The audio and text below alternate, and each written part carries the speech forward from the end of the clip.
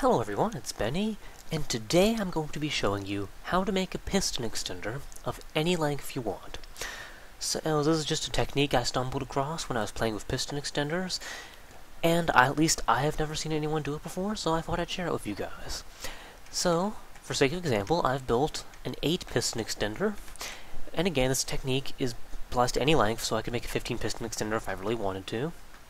But just for example, I built 8, and I have this lever. So if I flip the lever, you notice it extends. Okay, that's simple, that's the easy part. If I turn the lever off, though, then you'll notice the whole thing starts to retract. And it will slowly but surely work its way down the line and bring all the pistons and the block at the end back to the start. And there. And just to prove that it doesn't require the lever to be held, I'll just do a short pulse, and you notice it still works absolutely perfectly. So, just to look at some of the redstone that goes into it, it's actually a really simple repeater matrix that causes all this, even if it looks really complicated. But this this giant repeater matrix is actually built with a really simple pattern, and it's really easy to use, it's really easy to memorize, and if you use it, you can build a piston extender of any length you want to. So let's go ahead and show you how to do this. Okay, so here's how you build it. First off, you place a block, and you place down your pistons. In this case, I'm just going to show you how to make a 4-piston extender, but again, these techniques can apply to any number of pistons in a piston extender. So I'll just do 1, 2, 3, 4, and I'll place the block at the end. And this is the basis of my piston extender setup. So now that I've done that, I need to build the actual extension mechanism. This is the easiest part. First you place redstone like this. This redstone will extend the first piston. And now to extend the rest of them, you'll just need repeaters and blocks. So, I put a repeater here and a block here, and just keep doing this. And the number of repeaters that you'll need will always be one less than the number of pistons you have. So since I have four pistons in this extender, I have three repeaters. If I had eight pistons, I would have seven repeaters in this pattern. So nice and simple. If I flip the lever, they all extend. But of course they don't retract properly. So that's the next thing we'll have to do. But first I'd like to just mention a quick quirk in this system of extension right here. If you try extending pistons like that for any more than four pistons, for some reason you will need to have a free tick delay every three repeaters. So this one would need free tick delay, and then three repeaters down would need free tick delay, or else it doesn't work. I'm not entirely sure why that is, but it needs to be there. They don't extend right. But in any case, now I've got all the pistons, let's build the retraction mechanism. So the way the retraction mechanism works is it does repeaters on the other side of the pistons. Now the number of repeaters you need here requires a small bit of math, so just bear with me. You'll need to take the number of pistons you have, so in this case 4, and subtract 1 from that. So 4 minus 1 is 3. Simple enough. Now, what you need to do is you need to take whatever that number is, multiply it times 2. So 3 times 2 is 6. So I need 6 repeaters. So 1, 2, 3, 4, 5, 6. And now what I need to do is I need to actually, of course, set up the retraction mechanism. But it's not quite as simple because the retraction mechanism requires one space between each line. So I'm actually going to have to sort of expand this out a bit. And I'm going to do this by starting like this and just working my way across after I turn it back to day. Okay, we're back, it's day. And as I was saying, here's the way I like to separate these out. I like to have these three right here. I like them to go up, and I like to arrange it like this. That's just how I like to do it. And really it doesn't matter how you do this, as long as they end up with space in between them, but this is the way I like to do it, and did not put enough space there.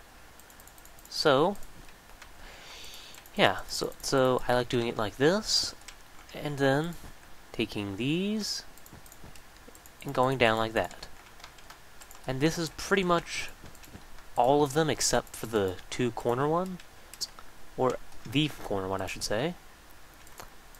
And there. So now I'm just going to replace the ends of all these lines with repeaters, and you'll see why when I get to building the ret retraction mechanism. Okay, so now we have everything separated out. Good. So that's step one. But we still don't know how we're going to get all these repeaters to retract the pistons. So let me just quickly demonstrate how this works. And again, this pattern applies for every single um, every single piston extender you can make. So here, I have all the pistons laid out like this. How am I going to go about retracting them? Well, first off, I need this piston in, because if I retract this piston, then nothing's ever going to be able to get to this piston again. So my first move has to be grabbing this piston with this. Now I need to grab the block. So I'm going to, so I started here, now I'm going to move over one and grab the block. Okay. Now again, we're in that same situation. We have to retract this piston next, or else we'll never be, be able to get to it again.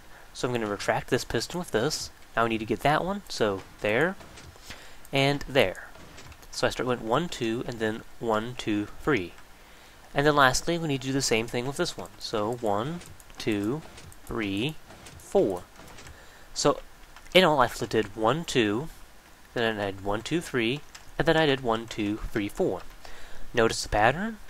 And that's exactly the same pattern we're going to use to retract all the pistons, except instead of using levers, we're going to use repeaters. So, to start off with, we just need a redstone in front of all of these. So there. And now we need to actually set up the repeaters. And the pattern of repeaters is pretty much the same thing, except in reverse, because the signal will be traveling from this direction to the to here.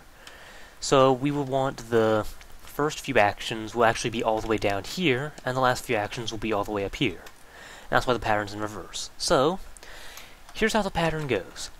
You start here, and you connect them like this. One, two, three. And if I add three ticks of delay, then what this should do is, if I power this, you'll notice it's doing that exact same last bit of pattern. I send a pulse through it, actually.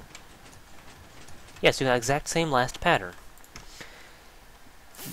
So, that's the first part, but now we need some repeaters so that this next layer does not conflict with this layer. So, we'll add more repeaters, and it's actually a little bit more for timing, but it also helps with that. So now we add repeaters. Now what we do is we're going to do the next one, so our, our first part was doing these two, then we moved over two and did these, these three. So it's actually two over from this. So, what we're going to do is we're going to subtract the three, so one, two, three. And now I need to add repeaters again. And lastly, what we need is we need to connect these last two, so like this. And of course, all these side repeaters need to be on three ticks of delay. And that's how you set it up. If you need an easy way to remember it, then all you need to know is you start the first, you take the number of pistons you have and subtract 1, and you count that out, 1, 2, 3. Okay, then you go back to the first one, and on the next layer, you move over 2, and just do one less than, eh, you'll do one less repeater than the previous row, so 1, 2. Then I'll go back to the start, move over 2, and then 1. So it's a pretty simple pattern, all in all. And it's already getting night again, that's strange, okay. One second, I'll just get night to go away. Okay, we're back.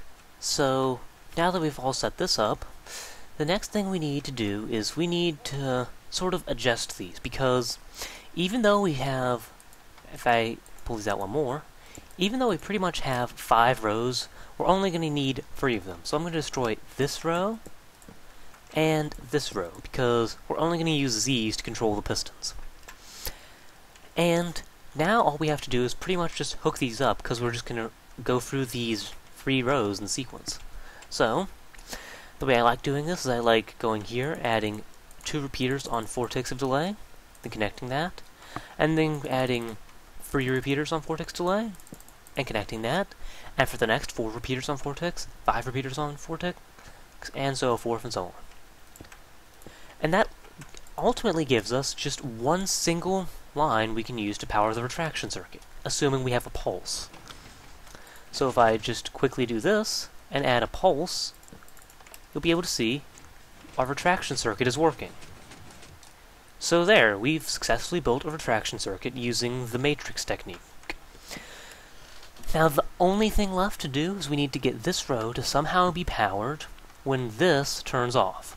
And that's actually a lot easier than it sounds. So the first thing I'm going to do is just add a repeater here. Don't really know why I like adding repeater at the start, but I do.